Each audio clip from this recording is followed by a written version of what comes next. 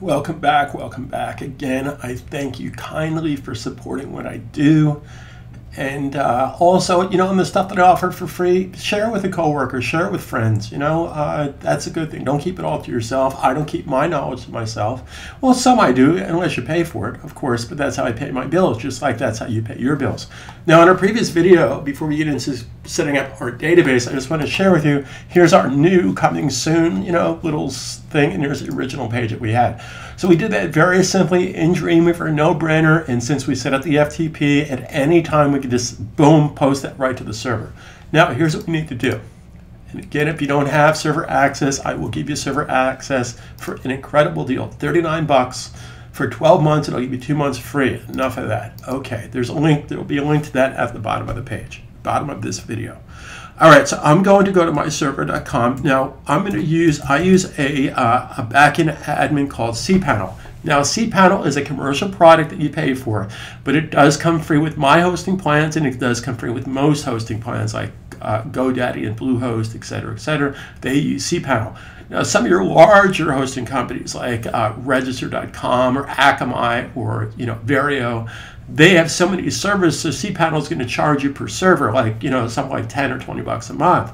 So let's think about that. If you're a company that has 100,000 servers, well, that adds up really, really quickly. So some of your larger, you know, gigantic hosting companies, like Verio, that has, you know, literally hundreds of thousands of servers, servers worldwide, they would basically create their own version of cPanel. But cPanel is the industry standard for a lot of cool stuff. So what you would do is go to yoursite.com, and again, if you're hosting with me, it works exactly what I'm sharing with is exactly how you'll get it. So the return key. Now, of course, that's going to say, you know, that if you're not on a secure server, et cetera, et cetera. So we're just going to click right here, and I'm going to click right there, and it's going to say you have to log in. So I'm going to put in my username and password and log into the server. So I put my username and password in and successfully logged into cPanel. Now for the very first time, you're going to get this dialog box, this warning. Well, you know what? I don't want to see this again because I know what I'm doing. So this is basically the cPanel is what comes with my hosting plans. It basically enables you to set up free WordPress accounts, etc., etc. Change your password. There's some video tutorials which I don't suggest you watch because they are confusing. No offense to cPanel, but they're not as straightforward as simple as me as mine, I should say. There's there's analytics for uh, you know all kinds of cool stuff here, which I talk about in other videos. Now, what we want to pay attention, incidentally, if I click here, here's I can do my WordPress installation. One click, boom, done. So here's what we need to do. We need to set up a database. Now, again, for those of you that are new to this whole database stuff and you think your head's going to fall off your shoulders, well, relax. I'm going to make it really, really simple. But again, if you're watching this on Udemy, you want to take a note on a couple of things on how a database thinks and how it works and what it expects from you. Now, once again, whatever you do, just don't confuse database with database. So what I'm trying to share with you, don't confuse this with that because you get very confused. Now, if you're a Marx Brothers fan, of course, that should make total sense to you. And again, I'm having fun with you. So database. So here's what we're going to do. Based on these choices, what do we want to do? Well, to keep this really, really simple for you, I'm going to click Database Wizard. Now, what I want to share with you, anytime you see the word wizard, uh, whatever software, whatever interface you have, wizard basically is a fancy word for going step by step, holding your hand. And that's what we're going to do. We're going to click right here, Database Wizard. Now, I just want to again get you in the thinking process of how the software thinks. So if you're on a shared hosting plan, then you're sharing the MySQL server. Now, I want to be extremely clear about what I'm going to tell you. You're not sharing your database with somebody else. You're sharing the server with somebody else. So there's a good chance if you call this, as an example, if you call this, you know, my store, there's a pretty good chance that somebody else on the server is calling their MySQL database, my store, or Amy store, or Tila store, or Jennifer store, or a John store, et cetera, et cetera. So to prevent that from happening and conflicting with other server names, because just like a folder on your desktop, files with the same name can't share the same space. So what cPanel does in its wisdom, it puts the username of your account as a prefix before whatever you call this. So I just want to be crystal clear about that.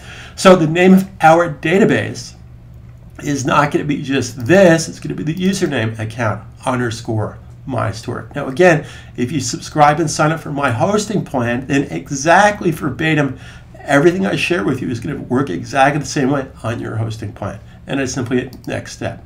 Now, what you'd want to do here is come up with a username.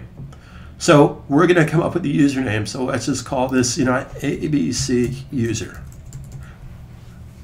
Then we're going to come in with a password. Now, I'm not going to share with you the password I'm going to use. I'm just going to pick password generator right here, and we're going to generate a password. Now, what I highly suggest you do is whatever information it does create for you, copy and paste and put that into a safe place so next time you remember it. Now, the browser should remember all your password if you have those settings set up correctly. Now, I'm not going to go to the next step because that's going to basically show you my username and password, and I don't want people hacking into my website. So, I use the password generator to create a password. And basically, you should basically have a really strong password. If it's a password, it doesn't necessarily have to be a password you can remember every 10 seconds because the browser will remember that for you. So I highly suggest for security purposes to pick a very confusing password, uppercase, lowercase, numerals, underscores, pound symbols, etc., etc., etc. So we're going to click create user. Okay, so I just I just realized that um, there's really no way to, uh, well, actually, there is a way, but I don't feel like doing it, blurring out my username and password. So the username and password you're about to see will be changed by the time this video publishes. So uh, for those of you that think you're going to hack into my server, it's not going to happen because I will change this information by the time the for those nefarious people out there, you know, this video is being published on YouTube, so I can't control the people that are watching it. So we're going to create user. Now, we're not going to remember this. I'm just going to hit, uh, well, actually, I'll just remember it for now. Now, what I suggest you do is you copy and paste this information into some secure place on your computer or to make a backup copy, etc., etc. Now, here's what I want to share with you in working with databases. Since we're going to set up you and assume you're the owner of the site and you're the admin, then we're going to have all privileges. But I just want to share a concept with you. If you have people working for you or interns, etc., perhaps you just want them to basically create records, but you don't want them to delete records, etc., etc. Now, in my full-blown course on udemy.com on developing e-commerce store and MySQL databases, etc., etc., of course, I go into great detail on the ins and outs of this. But this course here, this particular free video I'm posting on YouTube and Udemy, is the goal of this is to set up a login form and a password protect my page, etc., etc. So we're going to next step. Okay, so what you want to do from here is take this information and basically copy and paste it so it'll be available to you next time. So we're done with that. We're going to hit home.